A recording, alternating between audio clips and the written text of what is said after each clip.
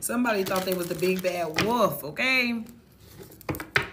They thought they was gonna huff and they was gonna puff and they was gonna blow your house down. For some of y'all, literally, somebody didn't even want you to have a foundation, baby. They didn't want you to be stable. They did not want you to have a foundation. It's given. They're not stable. They don't have a foundation. Out here homeless, going from place to place. Can I stay here? Can I stay there, head ass? You know what I'm saying? God will truly bless you in front of your enemies. And a lot of y'all, that's what's going on. Okay? It's given keep the enemy confused. Seven of Cups, the High Priestess, the Nine of Swords, and Judgment.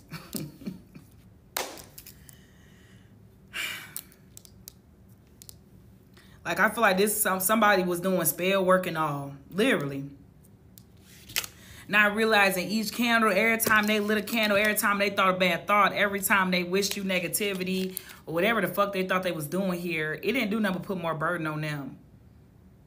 Like, I'm getting sickness for this person too. Like, somebody could literally be sick mentally, emotionally, what I physically, shit, spiritually, I don't know, but they going through it. They going through it, honey.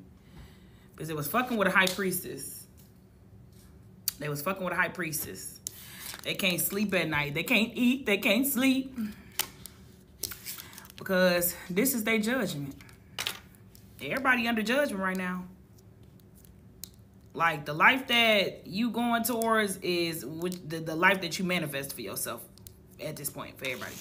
So it's just like they manifested a bunch of bullshit. So busy worried about you. While you was over over here setting yourself up for success, they was over there setting themselves up for failure, thinking they was saying you were a failure. But they set a trap for themselves. They didn't they didn't really set one for you. Like they did not. Yes, five of pentacles. They stuck in poverty. Like this person is crying on this car, honey. They crying, honey.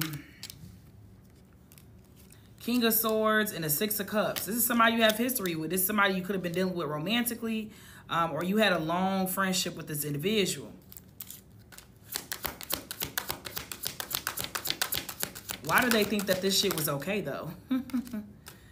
Three of Swords, because they feel like you hurt their feelings. They feel like you hurt them. And it's probably because you chose to cut them off and move forward. Basically, because you chose to cut this individual off and move forward, they chose to wish the worst for you. Okay, they feel like you stabbed them in the heart. So they was really on some, oh, let me get this person back type of shit. But it's not valid because you just did what was best for you. You didn't hurt this person. Intentionally just do things to hurt them. Like, you chose to move on because clearly something got toxic. Something got stressful. There was confusion. There was chaos. You had to get up out of there. You was hurt. So you had to save yourself. So this person is upset and try to do this black magic or whatever because you chose to get yourself out of the the conflict.